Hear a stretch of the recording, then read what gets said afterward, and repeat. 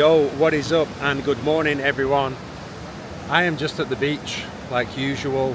It's another beautiful morning in Bali. We're actually coming into rainy season right now. Um, but the mornings are still dry. Usually we get rain in the afternoon, but fortunately the mornings are still dry and sunny. And yeah, it's another beautiful morning. Um, today I weigh 102 kg which is 3 kg down from yesterday. Now you might be wondering how is that possible?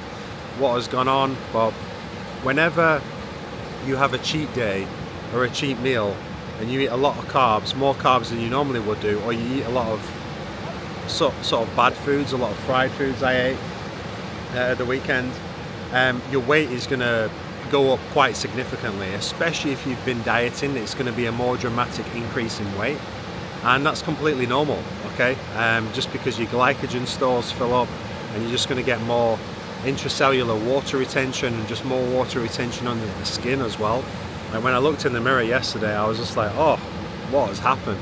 Like today I look okay not bad. I suspect that I'm still holding a little bit more water and probably tomorrow that will drop off as well. Um, but yeah if you're ever in a situation where you have a cheat day a cheat meal or even like you know multiple cheat days in a row and you see your scale weight fly up you haven't necessarily undone lots of progress depending on how bad you've gone and what you've done and for how long for. If it's just a short period of time like your body can only accumulate a certain amount of fat in a certain period of time. So it's not all body fat. Maybe I've accumulated a little bit of body fat after this weekend but no worries the show goes on. Uh, I would expect my weight to um, to drop down even further tomorrow and for the rest of this week. But also why it's important to not obsess over the daily scale weight is because your weight can fluctuate so much. You can think that you've not made any progress or you've taken huge steps back when in fact you haven't. So it's always really important to weigh yourself every single day and then look at seven day averages so you can see the trend and you can see your a more accurate representation of where your scale weight is trending. Um, I suspect for the rest of this week I'll probably be down to probably below 101 kg, maybe closer to 100. It really depends how strict I'm going to be. But to be honest with you, I'm not being that strict. Uh, the goal still remains the same, 2,000 calories and one hour of walking every single day uh, as well as a weight training session. Uh, but then it, you know every few days I end up going to all you can eat steakhouse and obviously going over the calories a little bit there. But um, yeah that's it from me. I'm going to enjoy this and hit a walk so see you in a bit. All right guys. Today is back day. And I'm going to start off back session with pull-ups. I always like to start off with pull-ups to be honest I just feel like it's a good movement to be able to do. I'm just going to hang here for a second though. Just feel into the exercise.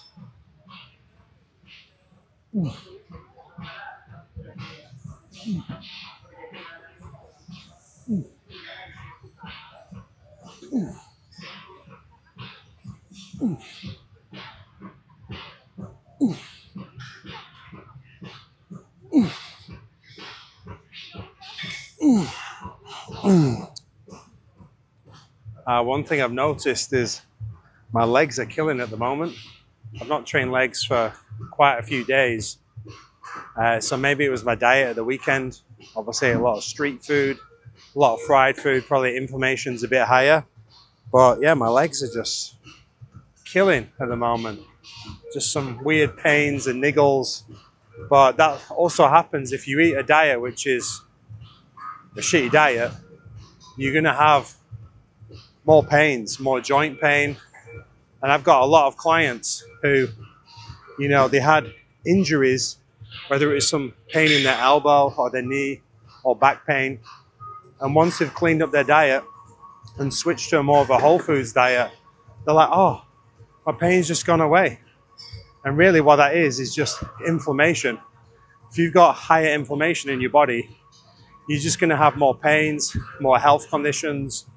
Uh, it really affects so many different things. Oh, that sun is nice and warm. Okay, sit two.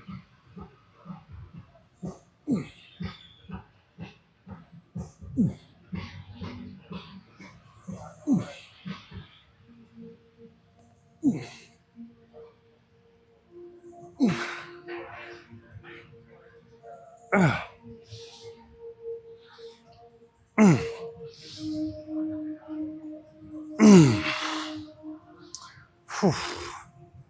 sets of pull-ups is enough. Okay, so second exercise is going to be cable lat push down with the rope.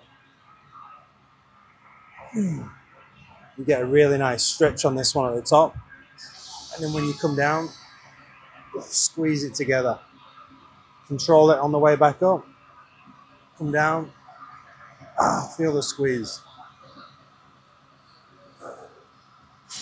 Hmm.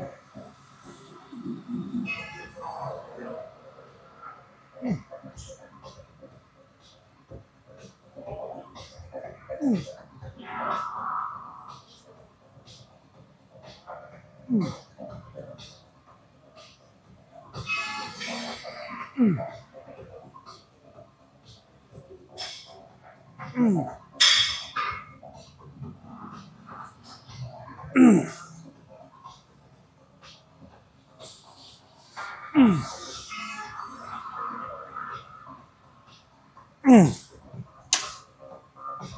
Uh, so this is one of those exercises where you'll probably feel a better contraction if you have the weight a bit lighter.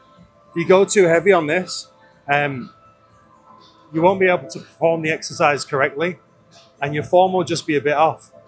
Whereas I find when we do a lighter weight on this and really focus on feeling the squeeze and the stretch and getting a good contraction, you just get way more out of the exercise.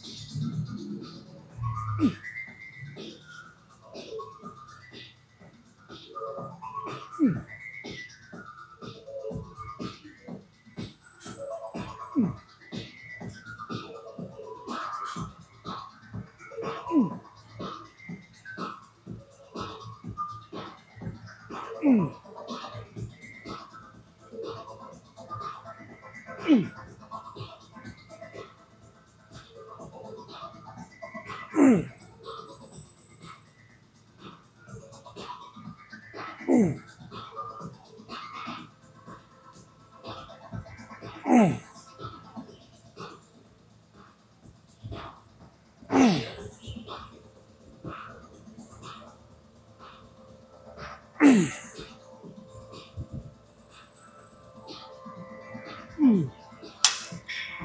Okay, set three.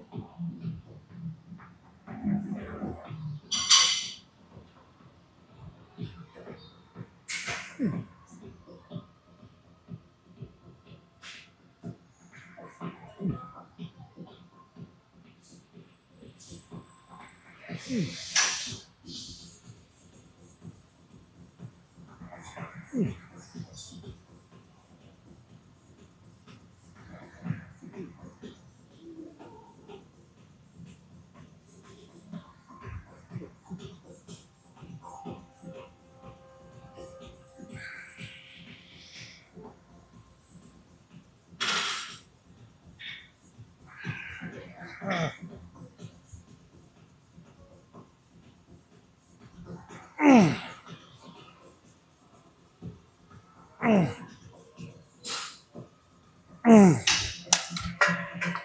Ah, okay, so I've not used this machine before, so I've just had to play around. And for me, it feels better when I have my hands here. And sometimes, depending on how big you are, how small you are, depending on your body type, and depending on the machines that you have available to you, sometimes it might actually feel a little bit better if you you grab the machine uh, at a slightly different place than expected. But the most important thing is you feel a contraction in the muscles that you're trying to target.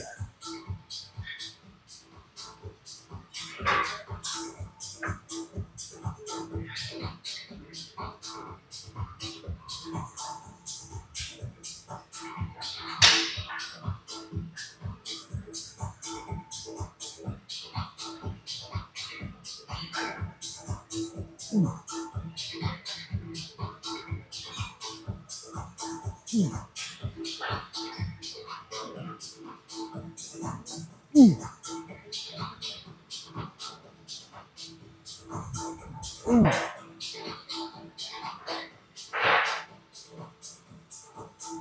Ooh. Ooh. Ooh. Ah. Okay, set two. I'm probably only going to do two sets on here because I already did the pull-ups and this is similar to the pull-ups. Not the same, but very similar. So two sets should be enough on here.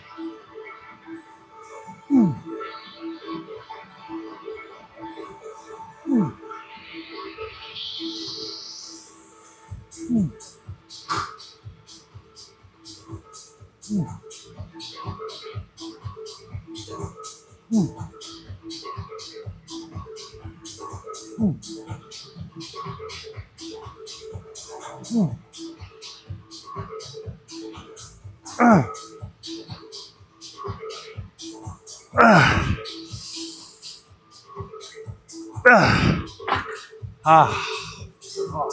Okay, exercise number four is a unilateral horizontal row. You can do this with dumbbells. Sometimes I like to use a machine as well, I like this one.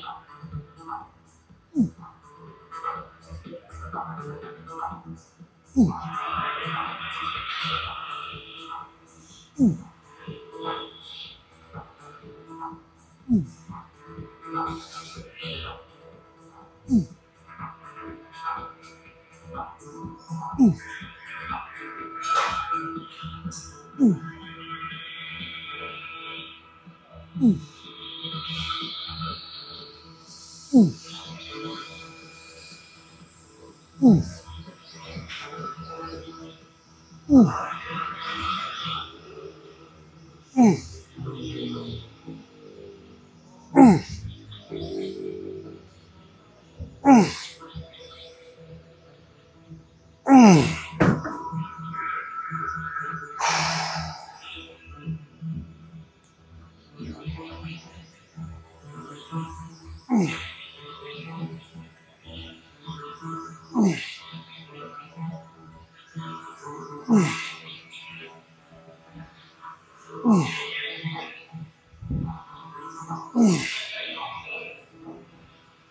Okay,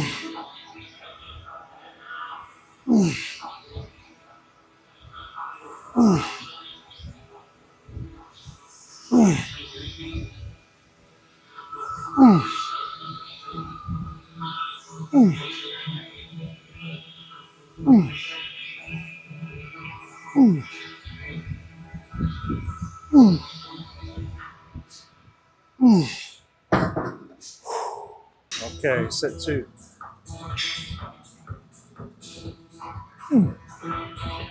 Notice how my shoulder rolls forward. Allows me to get greater range of motion. Mm.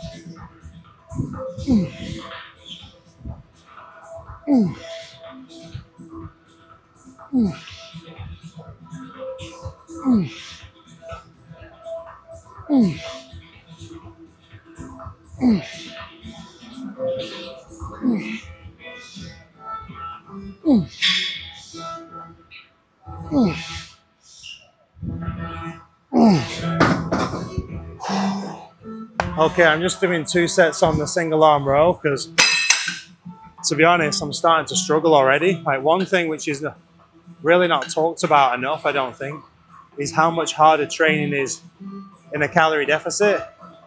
Obviously, like I'm in a bit of a steep deficit, but Saturday and Sunday, I was in a surplus. It's, I've only had one day uh, in a low deficit yesterday, obviously the rest of last week as well. But uh, already I'm starting to feel the difference and, and struggle. Now I'm going to do some chest pulls toward the upper mid back. Starting position, I'm really feeling the stretch here. Shoulder blades, shoulders come forward. And then just pull to your chest. Feel the contraction in your upper back. Also works your rear delts. Ooh. Mm. Ooh. Mm.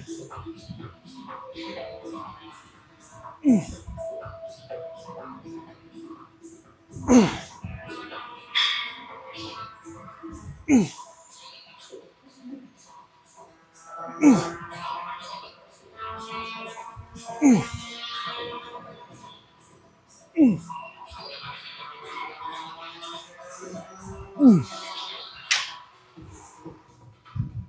So this is what they do in Bali. They burn the rice fields. After they've picked the crops, the rice, then they burn the fields. Problem is it gets very smoky, especially doing it right next to the gym.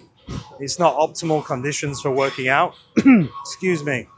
I've never been here at this time when they've started burning the crops, but that's a bit of a session killer to be honest. I'm just going to power through for now. Luckily, they're not burning the whole field. Otherwise, it would be a lot worse.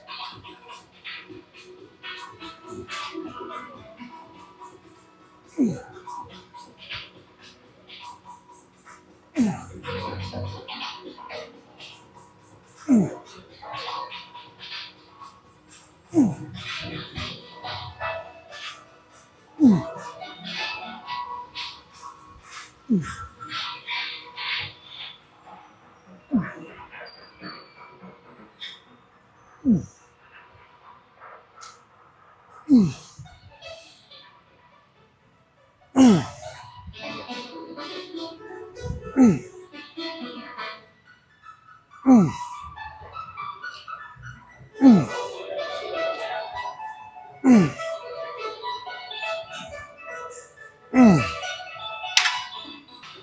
Okay, set three. Hmm. Hmm.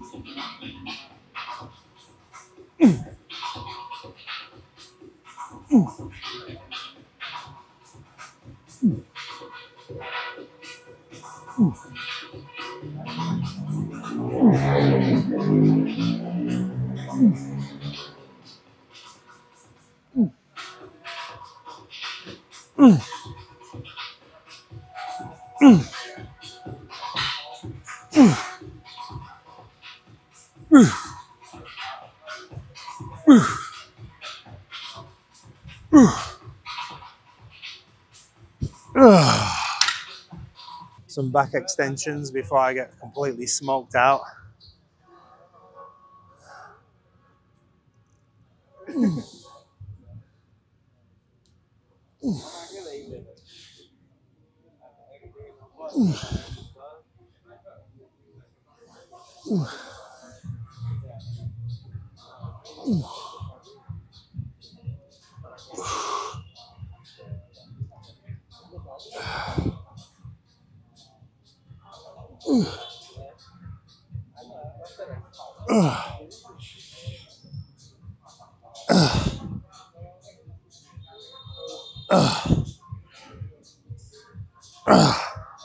wow, it's smoky. Fuck me.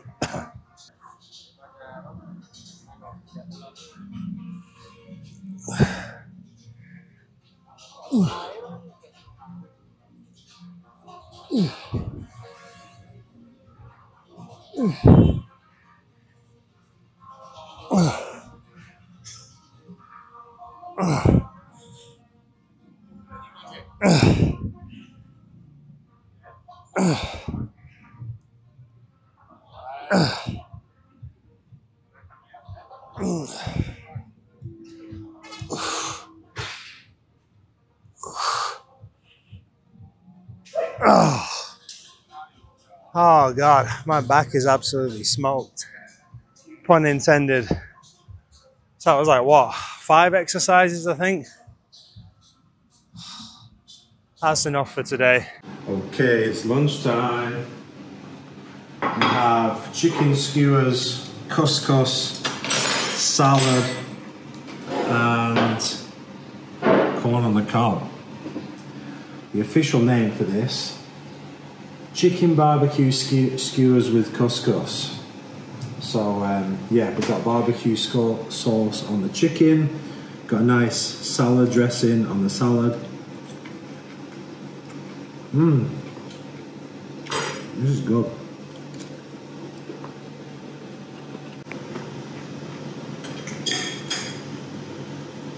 This is really good. Healthy eating does not have to be boring. Macros for this meal 68 protein, 10 fats, 56 carbs for 551 calories. Wow.